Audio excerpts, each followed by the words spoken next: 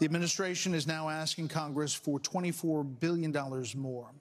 Regardless of that, the specific, specifics of that plan, is there anyone on stage who would not support the increase of more funding to Ukraine?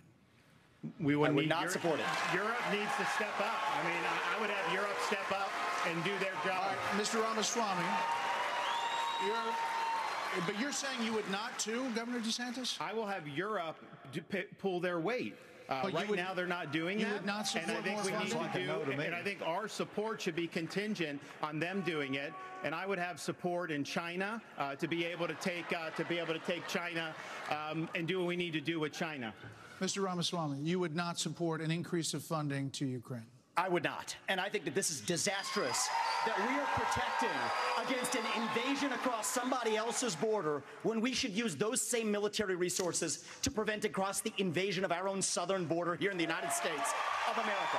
We are driving Russia further into China's hands. The Russia China alliance is the single greatest threat we face. And I find it offensive that we have professional politicians on the stage that will make a pilgrimage to Kiev, to their Pope, Zelensky, without doing the same thing for people in Maui or the south side of Chicago all right, or Kensington. Amen.